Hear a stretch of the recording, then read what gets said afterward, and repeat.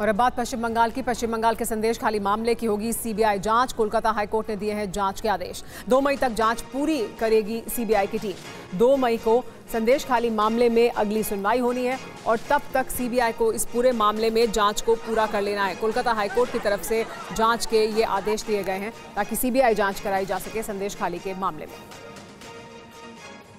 दो मई तक जाँच को पूरा करने के लिए कहा गया है। कोलकाता हाईकोर्ट की तरफ़ से आदेश दिया गया है कि अब सीबीआई की टीम इस पूरे मामले की जाँच करे।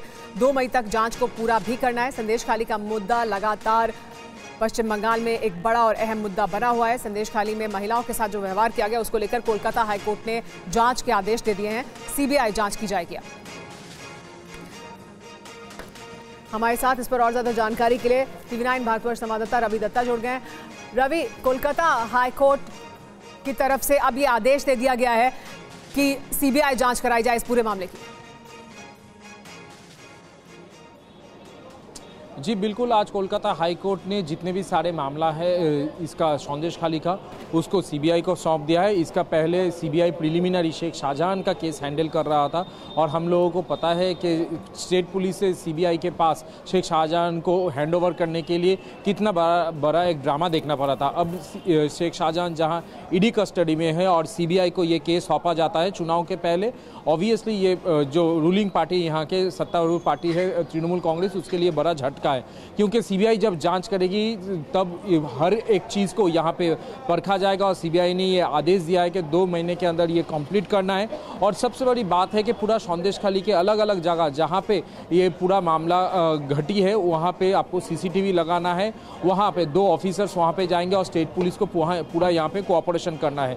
जहाँ दो दिन पहले यही संदेश खाली पे एक कांस्टेबल को पीछे से डंडा मार के हत्या करने की कोशिश किया जाता है और तीन पुलिसकर्मी को वहाँ पे गिरफ तीन तृणमूल के कर्मी को वहाँ पे गिरफ़्तार किया जाता है। तो ये ज़ाहिर सी बात है, संदेश खाली अभी भी शांत नहीं हुआ है। तो अंदर ही अंदर कुछ चल रहा है। तो सीबीआई इसका जब जाँच पड़ताल करेगी, तब शेख शाहजहां और उनके साथ जो पूरे गैंग उसके जुड़े हुए थे, आज जैसे उसका वाइफ को बुलाया गया है ईडी दफ्तर।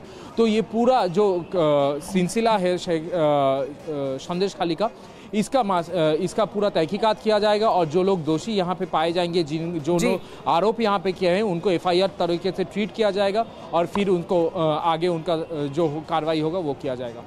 जी रवि और आइए दर्शकों को बता देते हैं कि संदेश खाली मामले में कोलकाता हाईकोर्ट में आज क्या कुछ हुआ? संदेश खाली में कोलकाता हाईकोर्ट ने इस मामले में क्या कहा? सुनवाई के दौरान राज्य सरकार सीबीआई को जाँच में मदद करे ये कहा गया कोर्ट की तरफ़ से।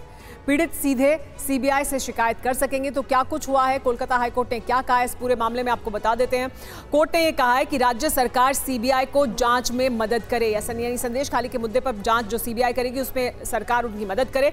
पीड़ित सीधे सीबीआई से शिकायत कर सकेंगे। अब पीड़ित सीधे सीबीआई से शिकायत करेंगे। सीबीआई को एक पोर्टल तैयार करना होगा। यानी एक पोर्टल तैयार करेंगे जिस पर कि लोग सीधे शिकायत कर सकते हैं संदेश खाली के। ज़मीन कब्जाने रेप, कृषि भूमि के ट्रांसफ़र की जाँच होगी। यानी ये तमाम मुद्दे हैं जिन पर जाँच की जाएगी। कोर्ट की निगरानी में सीबीआई की टीम जाँच करेगी और दो मई तक इस जाँच के जो परिणाम है वो सामने आएँगे। प्रभावित इलाके में पंद्रह दिन के अंदर सीसीटीवी भी लगेंगे। यानी सिर्फ़ यही नहीं कि शिकायत कर सकते हैं, सीसीटीवी भी इस इलाके में लगाए जाएँगे। पंद्रह दिन के अंदर एलईडी लाइट भी लगाई जाएँगी। एलईडी लाइट और सीसीटीवी मौजूद रहेंगे। सभी सबूतों को संरक्षित करना ज़रूरी होगा। सीबीआई जाँच के लिए किसी भी व्यक्ति को भेज सकती है। यानी सीबीआई किसी को भी जाँच के लिए नियुक्त कर सकती है और जाँच के लिए वहाँ भेज सकती है। संदेश खाली मामले को लेकर कोलकाता हाईकोर्ट के सीबीआई जाँच के आदेश के बाद केंद्रीय मंत्री निश्चित प्रमाणिक ने क्या कहा? आइए वो भी सुनते हैं। कोई भी निरपेक्ष संस्था अगर इसका तदंत में तदंत करेगा तो निश्चित रूप से दोषी जो है वो दोषी को चिन्हित किया जाएगा।